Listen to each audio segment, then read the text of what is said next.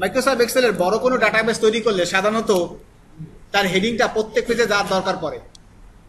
যদি বড় কোনো ডাটাবেস নিয়ে কাজ করেন, তার হেডিংটা উচিত হয় প্রত্যেক পেজে যাওয়ার। অন্যথায় আপনি ফাইলটা খুঁজে পাবেন না।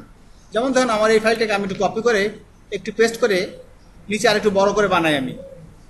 এই আমি কপি করলাম। জাস্ট ডাটা এন্ট্রি বেশি করলাম, আর কিছু না। এই এখানে পেস্ট দিলাম। যাতে ফাইলটা একটু বড় হয়। এবার যখন কন্ট্রোল পি দেবো সাথে সাথে দেখতে পারব, আমার হেডিংটা হচ্ছে প্রথম পেজে আছে। দেখি আমার ফাইলটা আমার সাত পেজের দ্বিতীয় পেজে কোনো হেডিং নাই। এটা অনেক বড় একটা প্রবলেম কারণ পরবর্তীতে আমি কোন ডাটা কোন হেডিংয়ের বিপরীতে এন্ট্রি করেছি তা খুঁজে পাবো না। তাই বাধ্য হয়ে আমাকে অবশ্যই প্রত্যেকটা হেডিং এমএস ওয়ার্ড এবং এক্সেলের প্রত্যেক পেজে দেওয়া উচিত টেবিলের ক্ষেত্রে। ওকে তা কীভাবে এটা করা যায় এটা আমরা দেখি।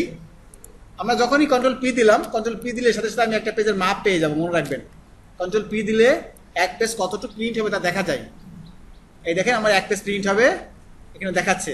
যেমন প্রত্যেকটা পেজ প্রিন্ট হবে, এখানে দেখাচ্ছে ওয়ার্কার তার একটাই কারণ কারণ আছে আমি এখানে ফ্রিজ দিয়েছিলাম।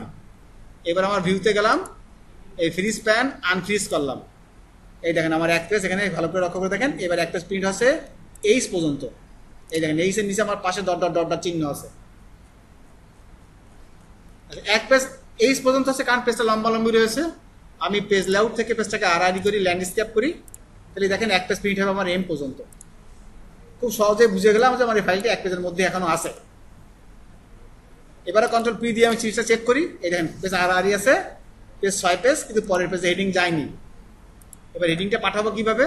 চলে গেলাম হোমে এবং এখান থেকে চলে আসলাম আমরা পেজ লেআউটে পেজ লেআউটে দেখেন একটা অপশন আছে, লেখা আছে প্রিন্ট টাইটেল প্রিন্ট টাইটেলে ক্লিক করবেন। ক্লিক করার পরপরই আপনি এখানে একটা অপশন পাবেন। Row to repeat at top অর্থাৎ আপনি কোনো রোকে প্রত্যেক পেজে টপে যদি রিপিট করতে চান, তাহলে এই কমান্ড অথবা প্রত্যেক কলামকে প্রত্যেক পেজে রিপিট করতে চাইলে আপনি এই column to repeat at left এটা দেন। সাধারণত কলাম আমরা প্রত্যেক পেজে খুব বেশি এটা রিপিট করি না। হেডিংটাকেই রিপিট করি। হেডিং হচ্ছে আমার রো এইখানে ক্লিক করলাম। ঠিক এই পয়েন্টে ক্লিক করলাম। ক্লিক করলে মাউস একটা অ্যারো চিহ্ন হবে। এটা দিয়ে এতে লোকেশন চিহ্ন দিতে হবে যে এইটা হচ্ছে আমার হেডিং আপনি যদি দুইটা লাইন ব্লক করেন এখান থেকে, তাহলে এই দুটো লাইনই প্রত্যেক হেডিংয়ে চলে যাবে। আমি শুধুমাত্র প্রথম লাইনটা ব্লক করলাম।